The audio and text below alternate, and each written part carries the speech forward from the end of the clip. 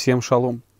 Сегодня нам с вами предстоит поворковать на удивительную и неоднозначную тему. Можно сказать, как м, эта тема краеугольный камушек в современном аудиопроизводстве. Это тема внешний клок-генератора. Ведь сегодня у нас на обзорном столе или в обзорном реке, я уж не знаю, как правильно сказать, клок-генератор от компании Antelope Audio, который называется 10MX. Это флагманская модель клок-генератора, самый современный, классный, модный, молодежный и актуальный. Но сперва немножко теории.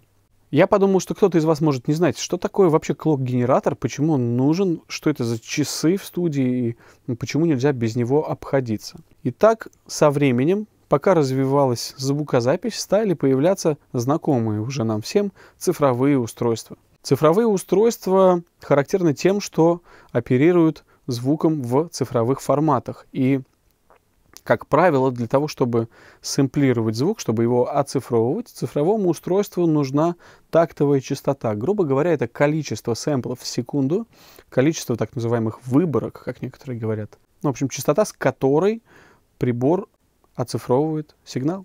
Именно это и называется частота дискретизации, или в английской терминологии sample rate.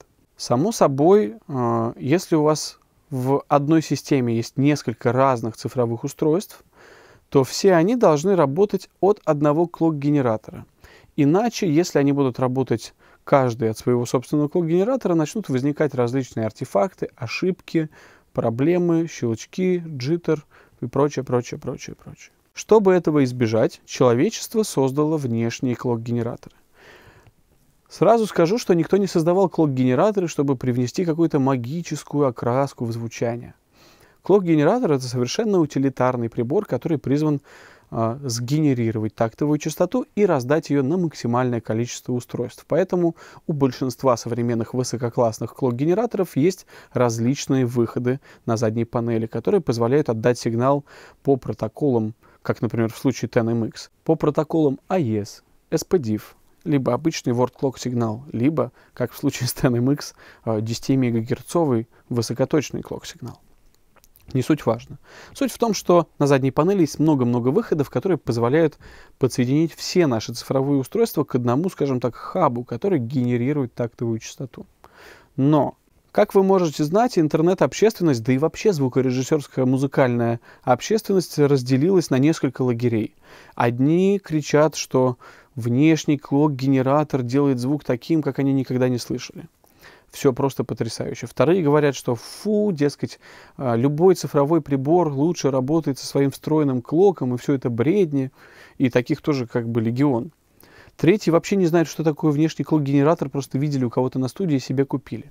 Я в разное время принадлежал к разным группам людей и по-разному относился к этим вопросам, поэтому сегодня я не хочу давать какую-то твердую оценку и говорить, используйте только такой генератор, или используйте никакой генератор, или используйте, не знаю, встроенный генератор вашей звуковой карты. Разные бывают обстоятельства и разные производственные ситуации. Например, не будем показывать пальцем, но некоторые производители делают цифровые устройства, которые вы прекрасно знаете, которые принимают сигнал со входа для внешнего word clock сигнала, а затем используют его как референс для того, чтобы своим встроенным клок-генератором регенерировать ту тактовую частоту, которую получили на входе. Поняли, о чем я? Получается, что если у вас есть такой девайс, и вы купили к нему за 7 тысяч долларов клок-генератор и заклочили э, свой девайс от такого генератора, этот генератор никак не повлияет на звук. Но в том случае, если прибор способен принимать внешний клок-сигнал и работать от него, тогда и начинается самое большое веселье, потому что в зависимости от того, какой генератор тактовой частоты мы используем, наш звук по-разному оцифровывается, расцифровывается, а это уже напрямую влияет на то, что мы с вами слышим и записываем. Само собой, качество клок-генератора не способно изменить то, что происходит внутри рабочей станции при работе полностью в коробке. Но как только мы с вами начинаем выходить в аналог или использовать какие-то внешние приборы, качество клок-генератора, так же как и качество э, оцифровщиков, ну, AD и DA преобразователей, э, начинает влиять на результат. Поэтому исключать клок из цепочки, э, ну, в общем, из цепочки анализа нельзя. TNMX это флагманский клок-генератор в линейке Antelope Audio, который называется Rubidium Atomic Clock. Рубидиевые атомные часы. Если честно, корнями вот куда это все уходит. Я использую разные устройства и по-разному в разное время относился к внешним клокам, но э, недавно попробовал антилоповский OCX HD, и хотя я был, э, прямо скажем, скептически настроен, я включил его, послушал, и мне почему-то понравилось. Я перешел на этот клок. И тогда я подумал, а интересно, как же звучит TNMX за 7 тысяч долларов? И Сегодня мы с вами его послушаем, и каждый из вас сделает самостоятельные выводы, а я с вами поделюсь выводами, которые сделал я и мои коллеги. Итак, TNMX представляет собой одноюнитовый прибор в красивом, харизматичном корпусе. Он довольно тяжелый. На лицевой панели нет практически ничего лишнего, да и не лишнего в целом тоже мало. А, там есть кнопка включения питания, логотип и приятная крутилочка, при помощи которой мы можем переключать частоту дискретизации. Поддерживаемые частоты дискретизации от 32 кГц, не знаю, правда, для чего, до 768 кГц.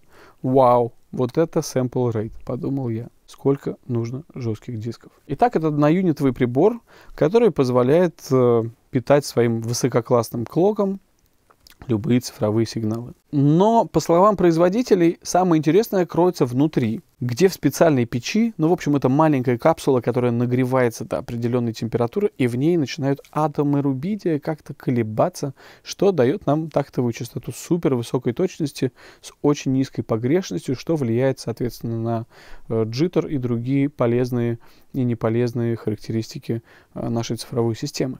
Можно бесконечно спорить о том, хорошо ли использовать внешний клок или нет. Тем не менее, однозначно высококлассный клок лучше, чем низкоклассный клок. Поэтому все очень сильно зависит от того, в каких именно обстоятельствах находитесь вы и какой в данный момент вы используете цифровое устройство. А результаты взаимодействия с внешними клок-генераторами могут быть самыми разными. Поэтому тут, конечно, трудно говорить э, о том, будет это хорошо или плохо, но определенно стоит попробовать. Само собой, для этого генератора существует отдельное приложение. Вы подключаете его по USB к вашему компьютеру и можете переключать sample rate, а, а также управлять яркостью фронтальной панели для тех, кому это необходимо. На задней панели представлены 4 выхода Word Clock, 10 выходов Atomic Clock, 2 AES выхода, 2 SPDIF выхода, ну и, само собой, Word Clock вход, на случай, если вы хотите заклочить свой классный TNMX от еще какого-нибудь классного клока. Производитель также говорит, что в TNMX интегрирована технология jitter менеджмента от знаменитого клок-генератора Trinity, который многие у нас используют на разных студиях. Мы с вами его видели, мне кажется, и на э, Мосфильме, и на Синелабе, если мне память не изменяет. Ну, в общем, это такая популярная железка. А, в отличие от трехюнитового Trinity.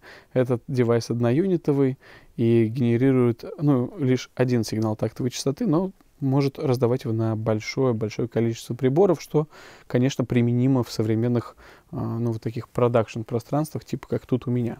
Еще одна штука, которую стоит помнить, подобные клок-генераторы требуют некоторого времени, чтобы прогреться. И это действительно правда.